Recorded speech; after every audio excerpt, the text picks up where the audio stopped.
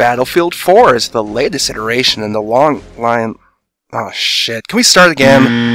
Battlefield Hardline is the latest iteration in the decades old Battlefield series. The first Battlefield game, Battlefield, originally came out in 1980 something on the Atari Jaguar. As you can see, Battlefield was an instant classic, making running around on Wake Island shooting all the World War II's a great and fun thing to do. But most gamers' first experience with the Battlefield series was Battlefield 1964 on the Nintendo 64. It was one of the most popular multiplayer games on the N64 at the oh! time, and it's partially responsible for starting the whole game modding scene. Battlefield Desert Combat on the Nintendo 64 became even more popular than the original Battlefield 1964, despite it just being a mod. Eventually there were a few more games, and there were some games no one cared about, and, and that brings us up to today with Battlefield Hardline. But can Battlefield Hardline live up to this vast history of Battlefield games that span decades? Let's find out. In this Battlefield, you're not going around shooting all the Hitlers in the face.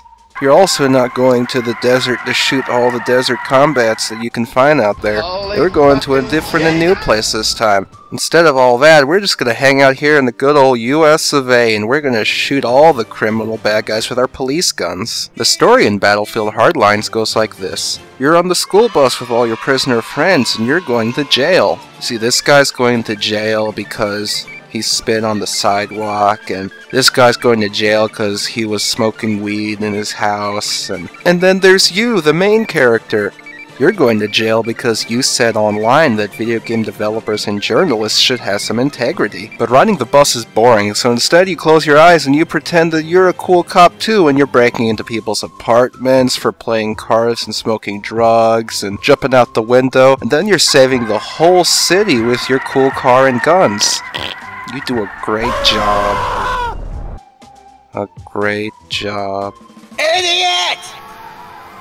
What kind of screwed up fighting style was that? You call yourself a cop? Look around you! You didn't protect a damn thing! Your most useful weapon in the single player campaign mode is gonna be your big ol' shiny police badge. You just wave that thing in the direction of any criminal mastermind you find and he's gonna be hitting on the floor and dying. It's truly a deadly brutal weapon. Uh. You can just see the fear in their eyes. Please don't show me your badge. I'm sorry.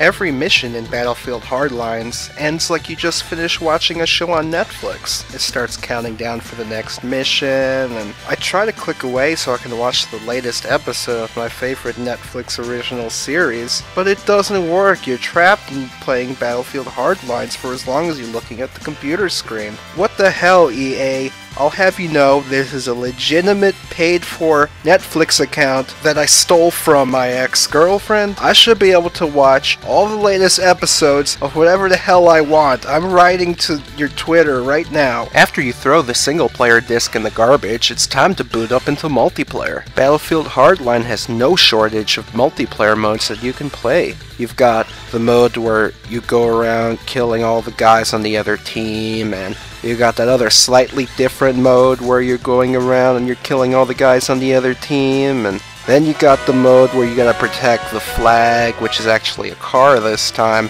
and you gotta like capture it and protect it, but everyone just ignores the objective and just kills all the bad guys on the other team all the modes you could want. But my favorite mode in Battlefield Hardline has to be the realism mode. In this mode, all the cops are armed with thousands of bazookas and grenades, and the criminals are just riding in their car to Taco Bell to get something for dinner. As the cops, it's up to you to pull them over, find a reason to arrest them, and murder them with your guns. Put on your $200 headsets and start your illegal betting, because Battlefield Hardline includes game modes specifically tailored for esports. These special 5v5 modes pit two tightly woven teams against each other while they try to capture. I'm sorry. They think people are gonna play this game competitively for money. For your money, Battlefield Hardline comes with a whole bunch of stages. You got nine whole maps to play on. You got a map that looks like a part of that big city map from Battlefield 4, and a- another map that looks like it's also a, a bit taken from that big city map in Battlefield 4, and you also got one that takes place in good old Iraq, California. It is a wide variety of maps here. There's a lot going on in these multiplayer modes, so it's really important that you're able to keep track of everything with the heads up display. And Battlefield Hardline does a great job letting you know everything that's going. Wait, no, wait, stop! I, I can't see! I'm trying to fly the helicopter! Stop! I'm the policeman! One important thing to keep in mind is you can't buy Battlefield Hardline on Steam. It's not sold there. Instead, you gotta go buy it on Origin. Now, personally, I like having two separate places where I keep my games. You know, Steam is kind of like my, my shelf with all, all my video games on there, and I put them there, and I, I just catch dust, and I never do anything with them usually. And then Origin is like my trash can. Now, you could buy this Battlefield 4 expansion pack, retail standalone game, for the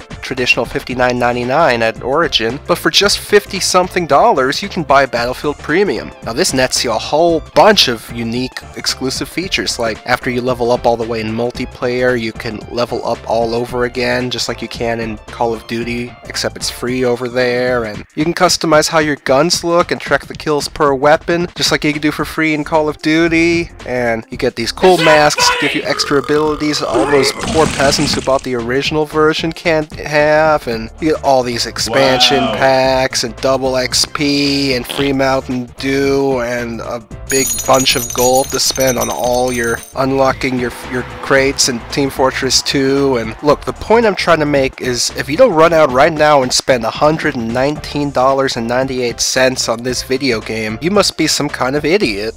Look, you could drive a, a sofa couch in this game. You can drive it all the way back to GameStop to get your money back. Now, if you can't afford $120 and you have to like spend that on food or something, then you're probably one of those people who still just have like an Xbox 360 instead of a next gen console. Don't worry, there you have a version for the Xbox 360 out as well. As you can see, it looks just as good as the next gen versions. Like maybe the resolution is a little lower than what you'd expect, but it's still perfectly playable. Now, if you are one of those big boys with an Xbox One or PlayStation 4, you're getting a great high-res experience here. Like if you squint your eyes and you look through your fingers and you get really close to the screen, you can't even tell that they broke their 1080p promises and are running at 720p on the Xbox One and 900p on the PS4. It's truly an almost next-gen experience. If you're an idiot. Overall, Battlefield Hardline must be a great game, and I'm probably glad to own it. I say this because I see a lot of commercials and GameStop and IGN run a lot of stories on it. So it's probably a great video game. That's that's what they told me. That's what they keep telling me. It's they wouldn't lie to me. They wouldn't lie to me. They spent a lot of money to tell me that. I saw the E3. Why were they playing Battlefield on the roof of a building? What's your name?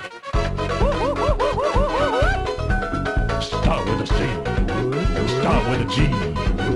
Start with a Z. Nothing nasty now. Your name. Spell it.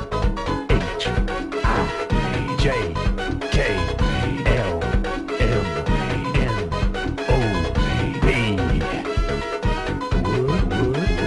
That's how you spell it.